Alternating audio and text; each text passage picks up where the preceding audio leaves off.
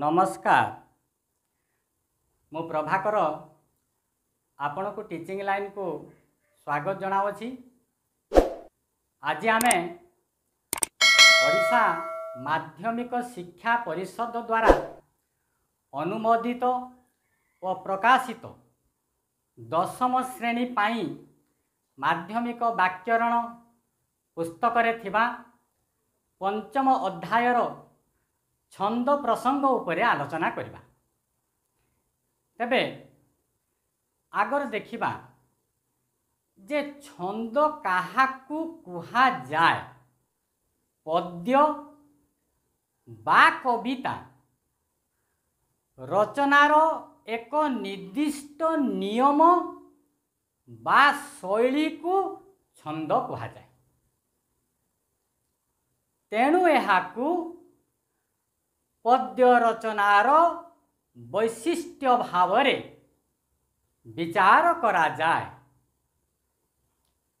ଗୋଟିଏ ଗୋଟିଏ ନିର୍ଦ୍ଦିଷ୍ଟ ଛନ୍ଦରେ ରଚିତ ହୋଇଥିବାରୁ ପ୍ରାଚୀନ ପଦ୍ୟ ବା କବିତାକୁ ଛାନ୍ଦ ମଧ୍ୟ କୁହାଯାଏ ତେବେ ଛନ୍ଦ ଆଉ ଛାନ୍ଦ এই কথা টিকে জানিলে তাপরে আমি দেখিবা যে ছন্দকু সাধারণতঃ দুই ভাগরে বিভক্ত করা যাইଥାଏ বা ছন্দ সাধারণতঃ দুই প্রকারর একরে হেলা মিত্রাক্ষর ছন্দ ଆଉ ଦୁଇରେ ହେଲା ଅମିତ୍ରାକ୍ଷର ଛନ୍ଦ ପୁଣି ମିତ୍ରାକ୍ଷର ଛନ୍ଦକୁ ତିନି ଭାଗରେ ବିଭକ୍ତ କରାଯାଇଥାଏ ଏକରେ ହେଲା ପୂର୍ଣ୍ଣ ମିତ୍ରାକ୍ଷର ଦୁଇରେ ହେଲା ଅପୂର୍ଣ୍ଣ ମିତ୍ରାକ୍ଷର ତିନିରେ ହେଲା ଏକାନ୍ତର ମିତ୍ରାକ୍ଷର এটা কেবল মিত্রাক্ষর ছন্দকু ভাগ করা যাইছে ତେବେ ଏତିକି କଥା ଆମେ ଛନ୍ଦ ଉପରେ ଜାଣିଲେ ଏତିକି କଥାକୁ ନେଇ କ'ଣ ପରୀକ୍ଷାରେ ପ୍ରଶ୍ନ ଆସିପାରେ ସେ ସମ୍ପର୍କରେ ଟିକିଏ ଆଲୋଚନା କରିବା ପ୍ରଥମେ ଦେଖିବା ଯେ କବିତା ରଚନାର ନିର୍ଦ୍ଦିଷ୍ଟ ନିୟମ ବା ଶୈଳୀକୁ କ'ଣ କୁହାଯାଏ তার ଉତ୍ତର ଆସିଯିବ ଛନ୍ଦ ସେହିଭଳି ପଦ୍ୟ ରଚନାର ବୈଶିଷ୍ଟ୍ୟ ଭାବେ କାହାକୁ ବିଚାର କରାଯାଏ ତାର ମଧ୍ୟ ଉତ୍ତର ଆସିବ ଛନ୍ଦ ପ୍ରାଚୀନ ପଦ୍ୟ ବା କବିତାକୁ ଛାନ୍ଦ କାହିଁକି କୁହାଯାଏ କାରଣ ସେଗୁଡ଼ିକ ଗୋଟିଏ ଗୋଟିଏ ନିର୍ଦ୍ଦିଷ୍ଟ ଛନ୍ଦରେ ରଚିତ ହୋଇଥିବାରୁ ତାକୁ ଛାନ୍ଦ ବୋଲି କୁହାଯାଇଥାଏ ପୁଣି ଆସିପାରିବ ଆମକୁ ପ୍ରଶ୍ନ ଛନ୍ଦକୁ କେତେ ଭାଗରେ ବିଭକ୍ତ କରାଯାଏ ଆମେ ଜାଣିଲେ ତାକୁ ଦୁଇ ଭାଗରେ ବିଭକ୍ତ କରାଯାଉଛି ଏକରେ ହେଲା ମିତ୍ରାକ୍ଷର ଛନ୍ଦ ଦୁଇରେ ହେଲା ଅମିତ୍ରାକ୍ଷର ଛନ୍ଦ ପୁଣି ଆହୁରି ପ୍ରଶ୍ନ ଆସିପାରେ ଯେ ମିତ୍ରାକ୍ଷର ଛନ୍ଦକୁ କେତେ ଭାଗରେ ବିଭକ୍ତ କରାଯାଏ ଉତ୍ତର ହେବ ତିନି ଭାଗରେ ଯଦି ସେ ମାଗିଥାଏ ସେଇ ତିନି ଭାଗ କ'ଣ କ'ଣ ଆମେ ଲେଖିପାରିବା ପୂର୍ଣ୍ଣ ମିତ୍ରାକ୍ଷର ଅପୂର୍ଣ୍ଣ ମିତ୍ରାକ୍ଷର ଏକାନ୍ତର ମିତ୍ରାକ୍ଷର ଏହିପରି ତମେ ଆହୁରି ନିଜ ମନକୁ ପ୍ରଶ୍ନ ତିଆରି କର ନିଜ ଖାତାରେ ସେ ପ୍ରଶ୍ନକୁ ଲେଖ ଏବଂ ତାକୁ ପଢ଼ା କର ନିଶ୍ଚିତ ଭାବରେ ତୁମରି ପ୍ରଶ୍ନ ହିଁ ବିଭିନ୍ନ ପରୀକ୍ଷାରେ ଦେଖିବାକୁ ପାଇବ ଆପରେ ଆମେ ଦେଖିବା ଯେ ପଦ ଆଉ ପାଦ କାହାକୁ କହନ୍ତି ସେ ବିଷୟରେ ଆଲୋଚନା କରିବା ବର୍ତ୍ତମାନ ଆମେ ଦେଖିବା ଯେ ପଦ କାହାକୁ କହନ୍ତି ଆଉ ପାଦ କାହାକୁ କହନ୍ତି ପଦ ଆଉ ପାଦ ମଧ୍ୟରେ କ'ଣ ଡିଫାରେନ୍ସ ରହୁଛି ଦେଖିବା ଯେକୌଣସି କବିତା କେତେ ଗୁଡ଼ିଏ ପଦରେ ବିଭକ୍ତ କରାଯାଇଥାଏ ସେହିଭଳି ଆମେ ପାଦ କାହାକୁ କହିବା ନା ପଦର ପ୍ରତ୍ୟେକ ପଙ୍କ୍ତିକୁ ପାଦ କହନ୍ତି ପ୍ରତି ପଦରେ ଦୁଇ ବା ତତୋଧିକ ପାଦ ଥାଏ ଏ ତ ଖାଲି ଡେଫିନେସନ୍ କହିଦେଲି କିନ୍ତୁ ଆମେ ତାକୁ ଉଦାହରଣ ନେଇକି ବୁଝିବା କେଡ଼େ ସୁନ୍ଦର ବୁଝି ହେବ ଦେଖ ମୁଁ ପ୍ରଥମେ ଗୋଟିଏ ଲେଖିଛି କର୍ମ କଷଣ ଦେହ ସହେ ଓ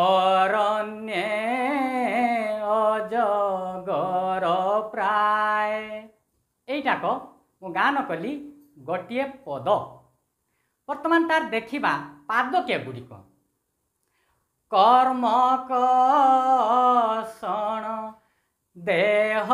ସହେ ଏଇଟା ହେଲା ଗୋଟିଏ ପାଦ ଏଇଟା ଏ ଯେ କର୍ମ କଷଣ ଦେହ ସହେ ଏଇଟା ହେଲା ଗୋଟିଏ ଏଇଟା ହେଉଛି ଗୋଟିଏ ପାଦ ଏଇଟା ଗୋଟିଏ ପାଦ অরণ্যে অজগর প্রায় এইটা হল আউ গোটিয়ে পাদ ইয়ে গলা আউ গোটিয়ে পাদ তবে আমি কহিপারিবা এই যে দুইটি পাদকু নেইকি এইটি গোটিয়ে পদ হয়েছে অর্থাৎ কর্মপোষণ দেহ সয়ে গোটিয়ে পাদ অরণ্যে অজগর প্রায় আউ গোটিয়ে পাদ এই দুইটি পাদকু নেই এইটি হয়েছি গোটিয়ে পদ তেবে তাপরে আউ গোটিয়ে উদাহরণকু আমি যা গান্ধারী দেলা জননী প্রাণর সুমহত পরিচয় অক্ষর হেউ পুণ্য জগতে ধর্মর হেউ জয় এইটার দেখিবা পদপাদ কেতে প্রথমে দেখ গান্ধারী দেলা জননী প্রাণর সুমহত পরিচয় এটা হলা গোটিয়ে পাদ অক্ষর হেউ पुण्य जगते धर्म रहेउ जय এটা ହେଲା ଆଉ ଗୋଟିଏ ପାଦ ବର୍ତ୍ତମାନ ଏଇ ଦୁଇଟି ପାଦକୁ ନେଇ ହେଇଛି ଗୋଟିଏ ପଦ ତେବେ ଏଇଭଳି ଆମେ କହିପାରିବା ଯେ ଦୁଇରୁ ଅଧିକ ପାଦକୁ ନେଇ ଗୋଟିଏ ପଦ ହୋଇଥାଏ କେଠି ତିନି ହୋଇପାରିବ କେଠି ଚାରି ହୋଇପାରିବ କେଠି ଛଅ ହୋଇପାରିବ ହେଲା ତେବେ ପଦ ଆଉ ପାଦ ପାଦ ହେଉଛୁ ପଦର ପ୍ରତ୍ୟେକ ପଙ୍କ୍ତି ଆଉ ପଦ ହେଉଛୁ କବିତାକୁ ଟୋଟାଲ୍ କବିତାଟାକ ତାକୁ କେତୋଟି ପଦରେ ବିଭକ୍ତ କରାଯାଇଥାଏ ଆଉ ପ୍ରତ୍ୟେକ ପଦକୁ କେତୋଟି ପାଦରେ ବିଭକ୍ତ କରାଯାଇଥାଏ ଆପରେ ଆମେ ଆଉ କେତୋଟି ଉଦାହରଣ ଦେଖିବା ବର୍ତ୍ତମାନ ମୁଁ କୁଆଁ ତାରାର ଗୋଟିଏ ପଦକୁ ଆବୃତ୍ତି କରୁଅଛି ତୁମେ କହିବ ଯେ ଏହାର କେତୋଟି ପାଦ ଅଛି ସରଗନର ପରାଚିତୁଠରେ ପ୍ରଭାତ ସିନାନ ସାରି ଗୃହେ ଚଳେ ଉଷା এই পদু পদুয়াটি সরাগে গভারে মারি এইটা মু গাইলি তো বর্তমান দেখিবা আর এইটা হল গোটিয়ে পদ মু গাইলি বা আবৃত্তি কলি বর্তমান দেখিবা আর পাদ কতটি অছি সরগ নৈর পরাচি তুঠরে প্রভাত সিনান সারি এটা হল গোটিয়ে যে পাদ सेपरि गृहे चले उषा पदुअटी सरागे गभारे मारी एटा है आउ गोटे पाद बर्तमान ये दुईटी पाद को नहीं गोटे पद हो कुआतार गोटे मुवृत्ति कली तापर देखा आउ गोटे गाई देखा यहाँ धरीपर कि नाही मो झरा से सेफाड़ी गोटे पद कह କେଉଁ ଦେବତାର କ୍ଷଣିକ ଆଶିଷ ଶୁଭ୍ର ପାଖୁଡ଼ା ଧରି ସୁନ୍ଦର ଏଇ ଶରତ ସକାଳେ ଭୂତଳେ ପଡ଼ିଲୁ ଝରି ତେବେ ଏଇଠି ଦେଖିବା କେତୋଟି ପାଦ ଅଛି କେଉଁ ଦେବତାର କ୍ଷଣିକ ଆଶିଷ ଶୁଭ୍ର ପାଖୁଡ଼ା ଧରି ଏଇଟା ହେଲା ଗୋଟିଏ ପାଦ সুন্দর এই শরত সকালে ভূতলে পড়লু ঝরি এটা হল আটিয়ে পাদ তেমন এইটি দুইটি পাদু নেই গোটিয়ে পদ হয়েছি কেবে ভাবিব না যে সবুলে দুইটি পাদু নিয়ে গোটিয়ে পদ হয়ে থাকে সে নুহে কেতেক অমর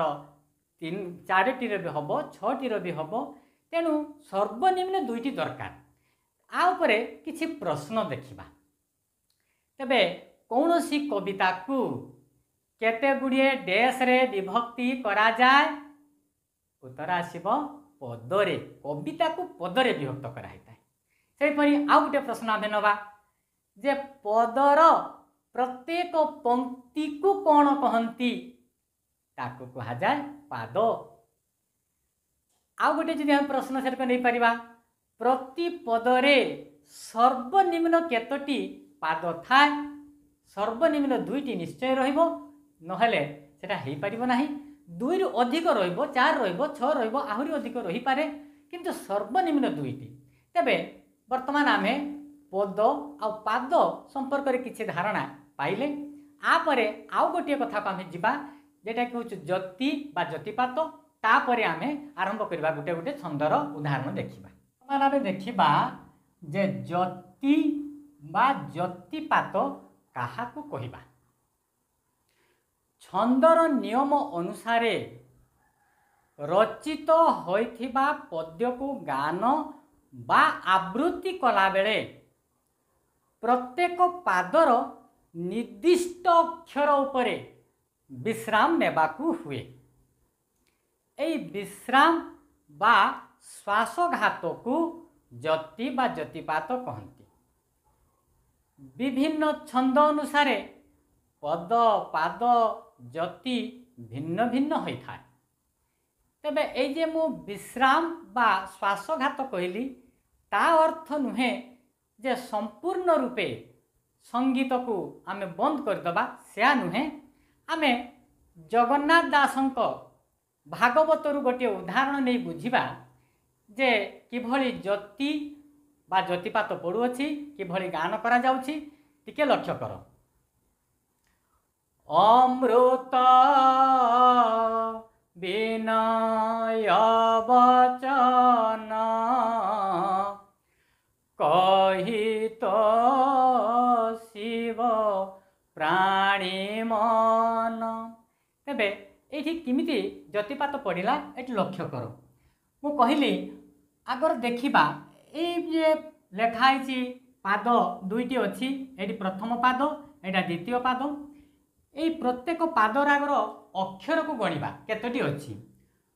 অমৃত তিন অম এক দুই তিন তাপরে চারি পাঁচ ছ সাত আঠ নৌ এটি নৌ গোটিয়ে অক্ষর অছি প্রথম পাদরে এই প্রথম পাদরে এটি অছি নটি অক্ষর বর্তমান দ্বিতীয় পাদକୁ ଦେଖିବା দ্বিতীয় পাদରେ ସେହିଭଳି ଏକ ଦୁଇ ତିନି ଚାରି ପାଞ୍ଚ ଛଅ ସାତ ଆଠ ନଅ ଏ ଦ୍ୱିତୀୟ ପାଦରେ ବି ନଅଟି ଅକ୍ଷର ଅଛି ବର୍ତ୍ତମାନ ଦୁଇଟି ଯାକ ପାଦରେ ସମାନ ସମାନ ଅକ୍ଷର ଅଛି ତେବେ ବର୍ତ୍ତମାନ ଆମର ଜ୍ୟୋତି ବା ଜ୍ୟୋତିପାତ କେମିତି ପଡ଼ୁଅଛି ଲକ୍ଷ୍ୟ କର ମୁଁ ଯେତେବେଳେ ଗାଉଛି ମୋ ସୁର କେମିତି ଲମ୍ବି ଯାଉଛି ଅମୃତ ଏଇ ତୋ ପାଖରେ ଅର୍ଥାତ୍ ତୃତୀୟ ପାଦ ତୃତୀୟ ଅକ୍ଷର ଉପରେ ମୁଁ ରହିଲି ଅମୃତ ଅମୃତ ବିନ ଏଇ ନ ପାଖରେ ମୁଁ ପଞ୍ଚମ ଅକ୍ଷର ଉପରେ ରହିଲି ଅମୃତ ବିନ ୟବଚନ ଆଉ ବଚନ ଶେଷ ଦନ୍ତେନ ଅର୍ଥାତ୍ ନବମ ଅକ୍ଷର ଉପରେ ମୋର ଜ୍ୟୋତି ବା ଜ୍ୟୋତିପାତ ପଡ଼ିଲା ସେହିପରି ଦ୍ୱିତୀୟ ପାଦରେ ଦେଖିବା କହି ତ ଏ ତୋ ପାଖରେ ରହିଲି କହି ତ ଶିବ ଏ ବୋ ପାଖରେ ରହିଲି ପ୍ରାଣୀ ମନ ଏଇ ଦନ୍ତେନ ପାଖରେ ବା ଶେଷ ଅକ୍ଷରରେ ରହିଲି ତେବେ ଏଇଠି ଟିକେ ଲକ୍ଷ୍ୟ କର ଯେ ମୁଁ ଯେତେବେଳେ ଆବୃତ୍ତି କରୁଅଛି କେଉଁ ଉପାୟରେ ବିଶ୍ରାମ ନେଉଛି ବିଶ୍ରାମ ମାନେ ନୁହେଁ ଯେ ସମ୍ପୂର୍ଣ୍ଣ ରୂପେ ମୁଁ ସ୍ୱରକୁ ଛାଡ଼ି ଦେଉନାହିଁ ସେଇଠି ଟିକେ ସ୍ୱର ଲମ୍ବି ଯାଉଛୁ କିଭଳି ଅମୃତ ବିନା ୟବଚନ କହି ତ ଶିବ ପ୍ରାଣୀ ମନ এইভাবে সবু যতি বা যতিপাত পড়ি থাকে তেবে আপরে আমি গোটিয়ে পরে গোটিয়ে ছন্দ ତାର ନାମ ତାର ନିୟମ ଏସବୁକୁ ବିଶଦ ଭାବରେ ଆଲୋଚନା କରିବା ଆମେ ଦେଖିବା ଭାଗବତ ବାଣୀ ବା ଗୁଜୁରୀ କବି ଜଗନ୍ନାଥ ଦାସଙ୍କ ଭାଗବତ ଏହି ଛନ୍ଦରେ ରଚିତ ହେଇଛି ଏହାର ଦୁଇ ପାଦରେ ଗୋଟିଏ ପଦ ହୁଏ ପ୍ରତି ପାଦର ଅକ୍ଷର ସଂଖ୍ୟା ନଅ ତେଣୁ ଏହାକୁ ନବାକ୍ଷରୀ ବୃତ ବା ନବାକ୍ଷରୀ ଛନ୍ଦ ମଧ୍ୟ କୁହାଯାଏ ପ୍ରତି ପାଦର ତୃତୀୟ ପଞ୍ଚମ ଓ ଶେଷ ଅକ୍ଷର ବା ନବମ ଅକ୍ଷର ଉପରେ ଜ୍ୟତିପାତ ପଡ଼େ ତେବେ ଗୋଟିଏ ଉଦାହରଣକୁ ନେଇ ଆମେ ଭଲ ଭାବରେ ବିଶ୍ଳେଷଣ କରି ବୁଝିବା প্রাণীর ভল মন্দবাণী মরণ কালে তাহা জানি এটি দেখ আগর দেখিবি যে কেতটি পাদ অছি ইয়ে লেখা অছি গোটিয়ে পদ ଆର୍ ଦୁଇଟି ପାଦ ଅଛି ପ୍ରଥମ ପାଦ ହେଲା ପ୍ରାଣୀର ଭଲ ମନ୍ଦ ବାଣୀ ଏଟା ହେଲା ପ୍ରଥମ ପାଦ ମରଣ କାଳେ ତାହା ଜାଣି ଏଟା ହେଲା ଦ୍ୱିତୀୟ ପାଦ ବର୍ତ୍ତମାନ ଅକ୍ଷର ସଂଖ୍ୟା ଗଣିବା ଏକ ଦୁଇ ତିନି ଚାରି ପାଞ୍ଚ ଛଅ ସାତ ଆଠ ନଅ ଅକ୍ଷର ସଂଖ୍ୟା ହେଲା ନଅ ଦ୍ୱିତୀୟ ପାଦରେ अक्षर संख्या है एक दो तीन चार पाँच छ सात आठ नौ आर भी अक्षर संख्या है नौ तेज आम ये जान ये दुईटी को लेकिन तो गोटे पद हो तेज आम जापारे जे दुईटी पादरे गोटे पद हो दुईटी को लेकिन गोटे पद हो प्रत्येक ପ୍ରତ୍ୟେକ ପାଦର ଅକ୍ଷର ସଂଖ୍ୟା ଅଛି ନଅ ତାପରେ ଦେଖିବା ଯତିପାତ କେଉଁ କେଉଁ ପାଦରେ କେଠି ପଡ଼ୁଛି ଲକ୍ଷ୍ୟ କର ପ୍ରାଣୀର ଏଇ ର ପାଖରେ ମୁଁ ରହିଲି ଏଇଠି ଗୋଟିଏ ଜ୍ୟୋତିପାତ ପକେଇଲି ଭଲ ଏଇଠି ଗୋଟିଏ ଜ୍ୟୋତିପାକ ଜ୍ୟୋତିପାତ ପକେଇଲି ମନ୍ଦବାଣୀ ଏଇଠି ଆଉ ଗୋଟେ ଜ୍ୟୋତିପାତ ପକେଇଲି ତେବେ ବର୍ତ୍ତମାନ ଦେଖିବି କେଉଁ କେଉଁ ଅକ୍ଷର ଉପରେ ଜ୍ୟୋତିପାତ ପଡ଼ିଲା ଗଣିବା ପ୍ରାଣୀର ଏକ ଦୁଇ ତିନି ତୃତୀୟ ଅକ୍ଷର ଉପରେ ପ୍ରଥମ ଜ୍ୟୋତିପାତଟି ପଡ଼ିଛି ତାପରେ ଦେଖିବା ଭଲ ଅର୍ଥାତ୍ ଚାରି ପାଞ୍ଚ ପଞ୍ଚମ ଅକ୍ଷର ଉପରେ ଜ୍ୟୋତିପାତ ପଡ଼ିଛି ତାପରେ ଦେଖିବା ମନ୍ଦବାଣୀ ଅର୍ଥାତ୍ ଛଅ ସାତ আট নবম অক্ষর উপরে ଆଉ ଗୋଟିଏ ଜ୍ୟୋତିପାତ ପଡ଼ିଛି ତେବେ ମୁଁ କହିପାରିବି ଯେ ପ୍ରଥମ ପାଦରେ ତୃତୀୟ ପଞ୍ଚମ ନବମ ବା ଶେଷ ଅକ୍ଷର ଉପରେ ଜ୍ୟୋତିପାତଟି ପଡ଼ିଛି ଦ୍ୱିତୀୟ ପାଦ ବିଚାର କରିବା ଦ୍ୱିତୀୟ ପାଦରେ ମରଣ କାଳେ ତାହା ଜାଣି ତେବେ ଦେଖିବା ଦ୍ୱିତୀୟ ପାଦରେ କେଠି କେଠି ପଡ଼ିଲା মরণ এক দুই তিন সেই তৃতীয় অক্ষর উপরে পড়িছি তাপরে কালে চারি পাঁচ পঞ্চম অক্ষর পড়িছি তাহা জানি অর্থাৎ ছ সাত আট ন অর্থাৎ নবম অক্ষর উপরে জ্যোতিপাত পড়িছি তেবে দ্বিতীয় পাদরে মধ্য তৃতীয় পঞ্চম ଆଉ ଶେଷ ବା ନବମ ଅକ୍ଷର ଉପରେ ଜ୍ୟୋତିପାତ ପଡ଼ିଛି ଏହା ହେଲା ଭାଗବତ ବାଣୀ ବା ଗୁଜୁରୀର ଛନ୍ଦର ନିୟମ ଏହି ଛନ୍ଦରେ ଅତିବଡ଼ି ଜଗନ୍ନାଥ ଦାସ ତାଙ୍କର ଭାଗବତକୁ ରଚନା କରିଛନ୍ତି ତେବେ ଭାଗବତ ବାଣୀ ଯଦି ପଡ଼ିଲା ପରୀକ୍ଷାରେ ତାକୁ ଆମେ ଏଇଭଳି ବିଶ୍ଳେଷଣ କରି ବୁଝିବା ଆ ଉପରେ କିଛି ପ୍ରଶ୍ନ ଦେଖିବା ଭାଗବତ ବାଣୀ ବା ଗୁଜୁରୀର ଅନ୍ୟ ନାମ କ'ଣ ନବାକ୍ଷରୀ ବୃତ୍ତ ବା ନବାକ୍ଷରୀ ଛନ୍ଦ ମଧ୍ୟ କୁହାଯାଇଥାଏ ତାପରେ ଦେଖିବା ଏହାର କେତୋଟି ପାଦରେ ଗୋଟିଏ ପଦ ହୁଏ ଉତ୍ତର ଆସିବ ଦୁଇ ଅର୍ଥାତ୍ ଦୁଇଟି ପାଦରେ ଗୋଟିଏ ପଦ ହେଇଥାଏ ତାପରେ ଦେଖିବା ଏହାର ପ୍ରତି ପାଦର ଅକ୍ଷର ସଂଖ୍ୟା କେତେ ଆମେ ଗଣିକି ଦେଖିଲେ ଏହାର ପ୍ରତି ପାଦର ଅକ୍ଷର ସଂଖ୍ୟା ନଅ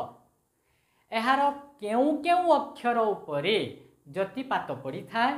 ଏହାର ତୃତୀୟ ପଞ୍ଚମ ଓ ଶେଷ ଅକ୍ଷର ଉପରେ ଜ୍ୟୋତିପାତ ପଡ଼େ ଏହି ଭାଗବତ ବାଣୀଟିକୁ କିଏ ରଚନା କରିଛନ୍ତି କହିଥିଲି ପ୍ରଥମରେ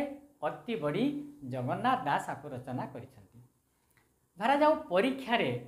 କିଭଳି ଭାବରେ ସେ ପକଉ ପକାଇ ପାରିବ ସେ କ'ଣ କରୁଛି ନା କେବଳ ଏଇ ପଦଟିକୁ ସେ ଦେଇଥିବ ଦେଇକି ତାପରେ ସେ ମାଗିବ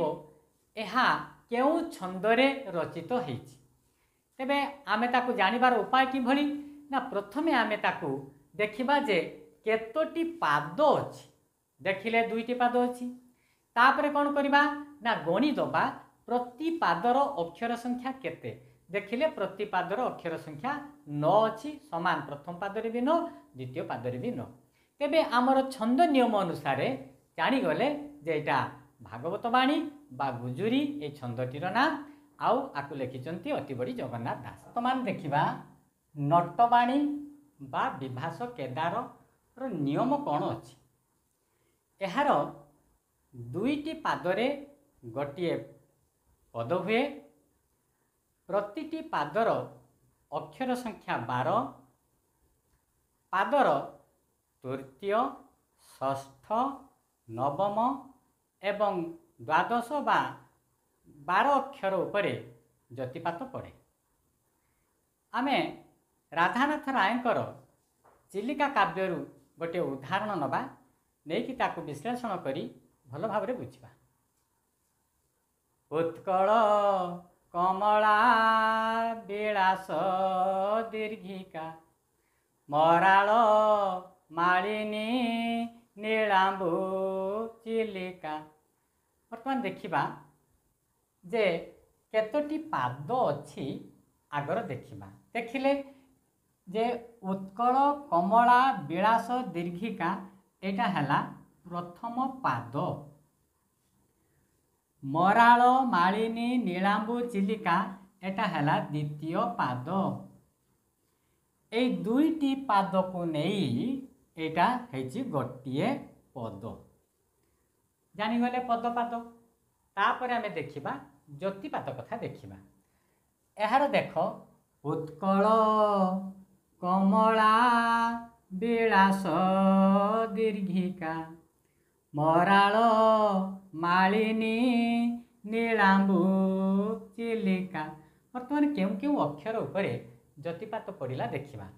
ଗଣିବା উৎকল এক দুই তিন অর্থাৎ তৃতীয় অক্ষর উপরে পড়িলা কমলা চার পাঁচ ছ অক্ষর বেড়াস সাত আট নবম অক্ষর দীর্ঘিকা দশ এগারো বারো অক্ষর উপরে জ্যোতিপাত পড়িলা অর্থাৎ ତାକୁ ଆମେ କହିପାରିବା ଯେ ତୃତୀୟ ଆଉ ଷଷ୍ଠ ନବମ ଦ୍ୱାଦଶ ବାର ବା ଶେଷ ଅକ୍ଷର ଉପରେ ଜ୍ୟୋତିପାତ ପଡ଼ିଲା ସେହିପରି ଆମେ ଦେଖିବା ଦ୍ୱିତୀୟ ପାଦରେ ମରାଳ ଏକ ଦୁଇ ତିନି ମାଳିନୀ ଚାରି ପାଞ୍ଚ ଛଅ ନୀଳାମ୍ବୁ ସାତ ଆଠ ନଅ ଚିଲିକା ଦଶ ଏଗାର ଏବଂ ବାର ଆର୍ ମଧ୍ୟ ଦ୍ୱିତୀୟ ପାଦରେ ଠିକ୍ ସେହି ଏକାଭଳି ଜ୍ୟୋତିପାତ ପଡ଼ିଛି ଅର୍ଥାତ୍ ତୃତୀୟ ଷଷ୍ଠ ନବମ ଦ୍ୱାଦଶ ବା ଶେଷ ଅକ୍ଷର ଉପରେ ଜ୍ୟୋତିପାତ ପଡ଼ିଛି ତେବେ ଆମେ ଦେଖିଲେ ଦୁଇଟି ପାଦରେ ସମାନ ସମାନ ଅକ୍ଷର ଉପରେ ଜ୍ୟୋତିପାତ ପଡ଼ୁଅଛି ତେବେ ଆକୁ ଆମେ ଜ୍ୟୋତିପାତ କେଉଁ କେଉଁ ଅକ୍ଷର ଉପରେ ପଡ଼ୁଛି ତାକୁ ମନେ ରଖିବା କେମିତି ଆମେ ତିନି ତିନି ମିଶାଇକି ଯିବା ଉତ୍କଳ ତିନିରେ ପୁଣି ତିନି ମିଶାଇଲେ ଛଅ ଆସିଲା ପୁଣି ଛଅରେ ତିନି ମିଶାଇଲେ ନଅ ଆସିଲା ପୁଣି ନଅରେ ତିନି ମିଶାଇଲେ ବାର ଆସିଲା ଅର୍ଥାତ୍ ତିନୋଟି ଲେଖା ଅକ୍ଷର ଛାଡ଼ିକି ଆର ଜ୍ୟୋତିପାତ ପଡ଼ୁଅଛି ଏଇ ହେଲା ନଟବାଣୀ ବା ବିଭାସ କେଦାରର କଥା ତେବେ ଆକୁ ନେଇ କ'ଣ ସବୁ ପ୍ରଶ୍ନ ହେଇପାରେ ପ୍ରଶ୍ନ କଥା ଟିକେ ଆଲୋଚନା କରିବା ଯେ ନଟବାଣୀର ଅନ୍ୟ ନାମ କ'ଣ ଏକ ପ୍ରଶ୍ନ ଆସିପାରେ ତାର ଅନ୍ୟ ନାମ ହେଉଛି ବିଭାସ କେଦାର ଏହାର କେତୋଟି ପାଦରେ ଗୋଟିଏ ପଦ ହୁଏ ଏହାର ଦୁଇଟି ପାଦରେ ଗୋଟିଏ ପଦ ହୁଏ ପ୍ରତି ପାଦର ଅକ୍ଷର ସଂଖ୍ୟା କେତେ ଏହାର ପ୍ରତି ପାଦର ଅକ୍ଷର ସଂଖ୍ୟା ହେଲା ବାର ପ୍ରତି ପାଦର କେଉଁ କେଉଁ ଅକ୍ଷର ଉପରେ ଜ୍ୟୋତିପାତ ପଡ଼େ ନା ତୃତୀୟ ଷଷ୍ଠ ନବମ ଦ୍ୱାଦଶ ବା ଶେଷ ଅକ୍ଷର ଉପରେ ଜ୍ୟୋତିପାତ ପଡ଼େ ଏହି ପଦଟିକୁ କିଏ ରଚନା କରିଛନ୍ତି ତାକୁ ଆମେ ଲେଖିପାରିବା ଯେ ରାଧାନାଥ ରାୟ ତାକୁ ରଚନା କରିଛନ୍ତି ଏହା ରାଧାନାଥ ରାୟଙ୍କର କେଉଁ କାବ୍ୟରୁ ଆସିଅଛି ଏହା ରାଧାନାଥ ରାୟଙ୍କର ଚିଲିକା କାବ୍ୟରୁ ଆସିଛି ଧରାଯାଉ ଏଇଟା ଦେଲା ନାହିଁ ପରୀକ୍ଷାରେ ସେ ଆଉ ଗୋଟିଏ ମାନେ ପଦଟିଏ ପକାଇଥିବ ଦେଖି କହିଥିବ ଯେ ଏଇଟା କେଉଁ ଛନ୍ଦରେ ଏଇଟା ଲେଖା ଅଛି ତାର ଜ୍ୟୋତିପାତ ବି ସେ ଧର ଦେଇଥିବ ତେବେ ଆମେ ସେଇ ମାନେ ପଦରୁ ଆମେ ଜାଣିବା କିଭଳି ତାକୁ କ'ଣ କରିବ ନା ପ୍ରଥମେ ଆଗର ଦେଖିବ ଯେ କେତୋଟି ପାଦରେ ଆର ଗୋଟିଏ ପଦ ହେଇଛି ଦେଖିଦେଲେ ଯେ ଦୁଇଟି ପାଦରେ ଗୋଟିଏ ପଦ ହେଇଛି ତାପରେ ପୁଣି ଆମେ ତାକୁ ଗଣିଦେବା ଯେ କେଉଁ କେଉଁ ପ୍ରତି ପାଦର ଅକ୍ଷର ସଂଖ୍ୟା କେତେ ଅଛି ଧରାଯାଉ ଆମେ ଗଣିଦେଲେ ପ୍ରତି ପାଦର ଅକ୍ଷର ସଂଖ୍ୟା ଅଛି ବାର ତେବେ ଦୁଇଟି ଯାକ ପାଦର ବାର ବାର ସମାନ ଅକ୍ଷର ସଂଖ୍ୟା ଅଛି ତାପରେ ସେ ଯଦି ଜ୍ୟୋତିପାତ ଚିହ୍ନ ଦେଇଦେଇଥିବ ତେବେ ଆମକୁ ଆଉ ଅସୁବିଧା କିଛି ହେବ ନାହିଁ ଧରାଯାଉ ସେ ଜ୍ୟୋତିପାତ ଚିହ୍ନ ବି ଦେଇଦେଇଛି ତେବେ ସେଇଠି ଆମେ ଦେଖିଦେଲେ ଯେ ତୃତୀୟରେ ପଡ଼ିଛି ଷଷ୍ଠରେ ପଡ଼ିଛି ନବମରେ ପଡ଼ିଛି ଦ୍ୱାଦଶରେ ପଡ଼ିଛି ଏବଂ ଦ୍ୱିତୀୟ ପାଦରେ ମଧ୍ୟ ଠିକ୍ ସେହି ସ୍ଥାନରେ ପଡ଼ିଛି ତେବେ ଏଠି ଆମେ ସମ୍ପୂର୍ଣ୍ଣ ରୂପେ ଜାଣିପାରିଲେ ଯେ ଏଇ ଛନ୍ଦ ଏଇ ଯେଉଁ ପଦ୍ୟଟି ବା ପଦଟି ଲେଖା ଅଛି এটা নটবাণী বা বিভাস কেদার ছন্দ নিয়মে লেখা অছি তেমন আমি ଯାହା ଅପସନ୍ ଥିବ ନଟବାଣୀ ଥାଉ ବା ବିବାହ ସାକ୍ଷାତାର ଥାଉ ସେ ଅପସନ୍ଟିକୁ ବାଛିବା ଆ ପରେ ଏ ତ ଆମର ପ୍ରଥମ ଭିଡ଼ିଓରେ ଏତିକି ଗଲା ଆ ପରେ ଆମେ ଦ୍ୱିତୀୟ ଭିଡ଼ିଓରେ ଆଲୋଚନା କରିବା ଯେ ଶଙ୍କରାଭରଣ ରାମକେରୀ ବଙ୍ଗଳାଶ୍ରୀ ଚକ୍ଷୀ ଆଉ ଦାଣ୍ଡିବୃତ ଗୋଟିଏ ଭିଡ଼ିଓରେ ସବୁଗୁଡ଼ିକୁ ଆଲୋଚନା କରିବା ଦ୍ୱାରା ଭିଡ଼ିଓଟି ବହୁତ ଲମ୍ବା ହୋଇଯିବ ତେଣୁ ଆମେ ଦ୍ୱିତୀୟ ଭିଡ଼ିଓରେ ଏସବୁ ଆଲୋଚନା କରିବା ତେବେ ଆଜି ଏତିକିରେ ରହିଲି ଯଦି ଭିଡ଼ିଓଟି ଆପଣଙ୍କୁ ଭଲ ଲାଗିଥିବ ଆପଣ ନିଶ୍ଚିତ ଭାବରେ ସବସ୍କ୍ରାଇବ୍ କରିବେ ସବସ୍କ୍ରାଇବ୍ କରିବା ଦ୍ୱାରା ଆମର ଯାହା ସବୁ ନୂଆ ଭିଡ଼ିଓ ଆମେ ପାବ୍ଲିଶ୍ କରିବୁ ସେଗୁଡ଼ିକ ଖୁବ୍ ଶୀଘ୍ର ଆପଣଙ୍କ ପାଖରେ ପହଞ୍ଚିବ ଏବଂ ବହୁ ଉପାଦେୟ ଭିଡ଼ିଓ ବହୁତ ଉପାଦେୟ ଗ୍ରାମାର ଆମେ ଆପଣଙ୍କ ପାଖକୁ ପହଞ୍ଚାଇବାକୁ ଆପ୍ରାଣ ଚେଷ୍ଟା କରୁଅଛୁ ନମସ୍କାର